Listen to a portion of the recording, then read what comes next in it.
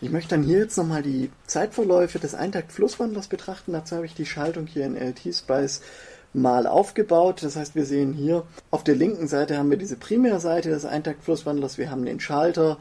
Wir haben diese Entmagnetisierungswicklung, eine Freilaufdiode. Ich habe jetzt hier modelliert die Hauptinduktivität extra parallel zu dieser Induktivität, die in Serie ist, zu dem Schalter. Die Induktivitäten L4, L2 und L3 sind verkoppelt, das heißt auf einem gemeinsamen Kern und dann wirkt jetzt hier diese Hauptinduktivität, weil die viel kleiner ist als die parallel geschaltete Induktivität, als maßgeblich energiespeichernde Induktivität. Das, was wir zwar eigentlich nicht wollen bei dem Flusswandler, was wir hier aber kriegen bei realen Transformatoren. Auf der Ausgangsseite, wie gesagt, haben wir diese Schaltung, die einem Tiefsetzsteller entspricht. Und wir wollen uns jetzt zunächst mal angucken, wie sehen die Verläufe aus auf dieser Ausgangsseite und dann nochmal konkreter darauf eingehen auf diese Hauptinduktivität und diese Entmagnetisierungswicklung sowie auf die Spannungs- und Strombelastung des Schalters, die wir da vorne haben.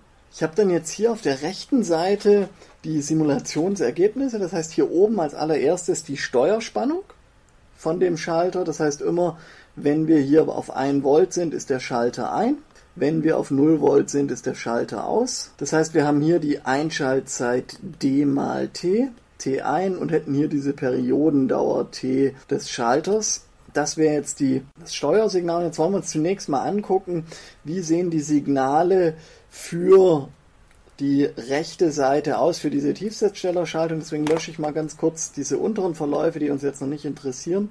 Das heißt, ich habe jetzt hier mal die Verläufe sozusagen nur auf der Sekundärseite. Wir haben hier oben das Steuersignal D mal T, dem der Schalter angesteuert wird. Immer wenn der Schalter angesteuert ist, wird jetzt hier die Eingangsspannung UE an der Hauptinduktivität anliegen, rüber transformiert werden. In diesem Fall haben wir jetzt ein Übersetzungsverhältnis von 5 zu 1 primärseitig zu sekundärseitig weil die Induktivitäten um den Faktor 25 unterschiedlich sind. Das heißt, ich werde ein Fünftel der Spannung auf der Sekundärseite kriegen. Hier 48 Volt geteilt durch 5 macht knapp unter 10 Volt.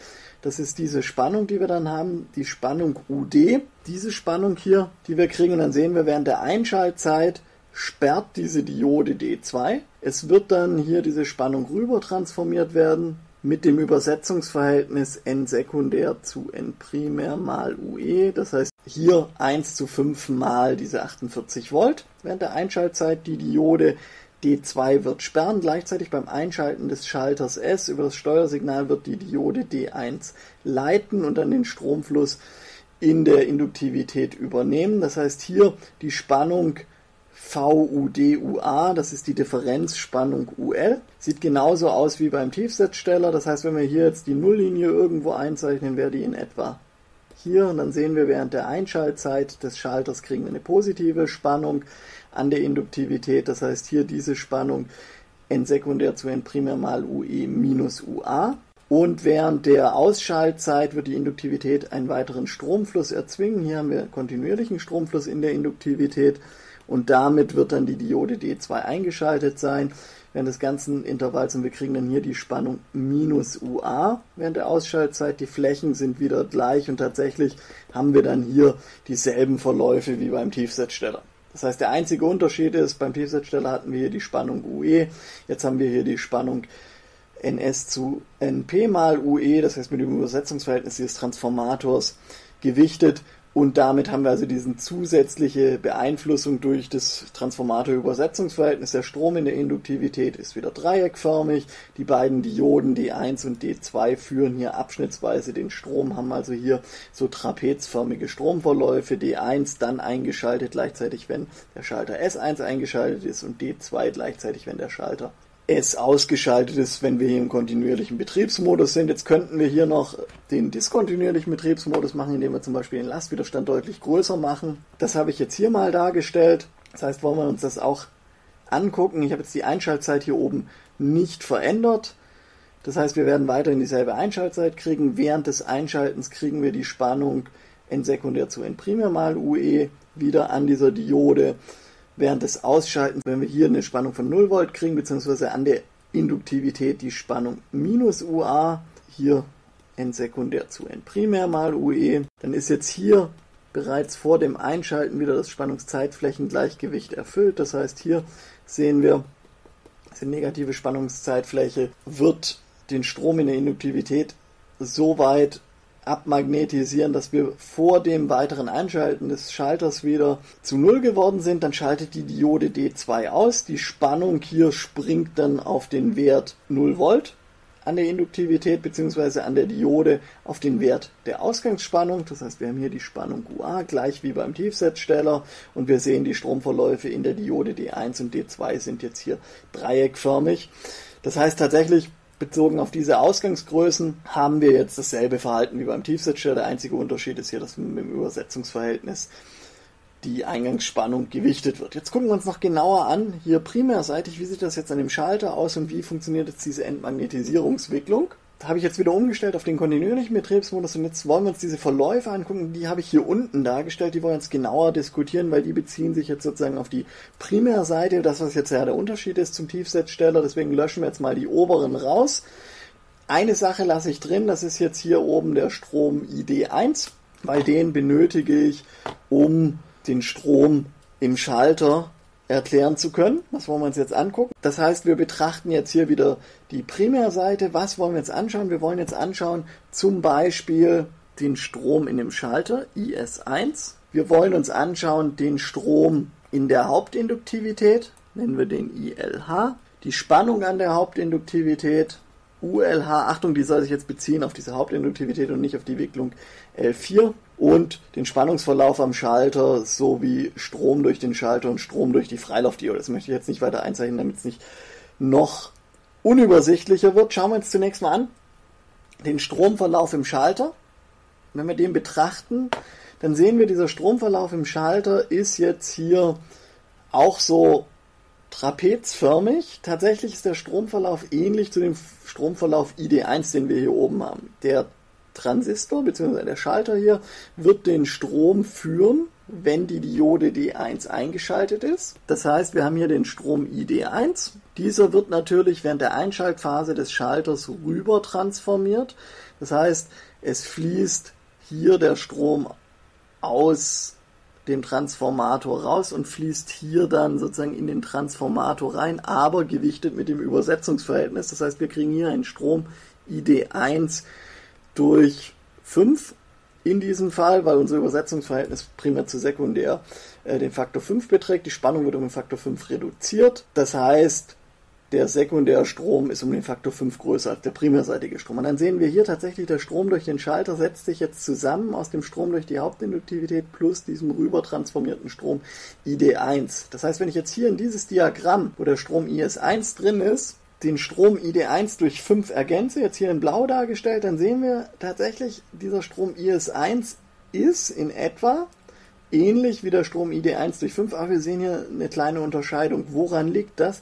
Das liegt jetzt an diesem Strom durch diese Hauptinduktivität, diesen Magnetisierungsstrom. Das heißt, tatsächlich fließt hier während dieser Einschaltphase noch ein zusätzlicher Stromanteil. Ich kann jetzt mal einzeichnen, es wird hier dieser zusätzliche Stromanteil fließen. Das wäre jetzt der, was hier so gestrichelt, der Strom ILH, der nochmal hier unten dargestellt ist, der dadurch entsteht, dass wir hier halt eine positive Spannung an diese Hauptinduktivität anlegen und damit ein Magnetfeld im Kern des Transformators aufbauen. Und dieses addiert zu dem Strom ID1 geteilt durch das Übersetzungsverhältnis ergibt den Strom IS1. Das heißt tatsächlich, das hier ist jetzt ID1 durch 5 plus ILH während dieser Einschaltzeit. Deswegen dieser kleine Unterschied. Das erklärt schon mal den Stromverlauf durch diesen Schalter. Wir haben dann hier diese Hauptinduktivität. Wir hatten gesagt, wir brauchen dafür diese Entmagnetisierungswicklung. Warum? Wenn wir jetzt nach dem Einschalten des Transistors zum Zeitpunkt d mal t hier diesen Schalter ausschalten, dann haben wir hier einen positiven Strom in der Hauptinduktivität. Das heißt, diese würde eine Spannung induzieren, um den Stromfluss weiter zu ermöglichen. Der Strom ist hier die energietragende Größe und die Energie kann nicht springen. Es wird dann hier also eine sehr hohe Spannung induziert werden. Tatsächlich haben wir gesagt, es gibt diese Entmagnetisierungswicklung, die als Freilaufdiode wirkt, ähnlich wie beim Sperrwandler. Nur dort die Energieübertragung. Hier jetzt die Energieübertragung für die in der Hauptinduktivität gespeicherte Energie zurück in die Quelle.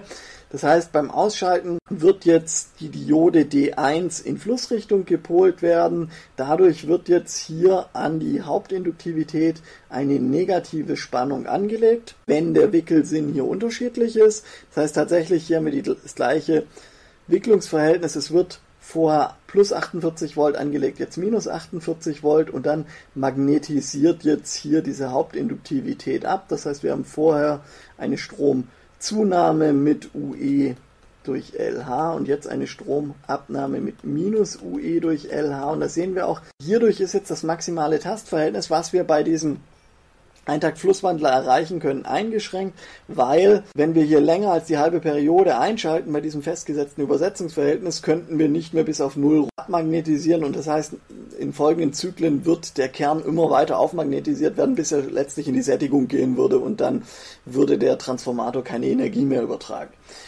Als letztes wollen wir uns noch die Spannung am Schalter angucken. Hier unten haben wir die Spannung US.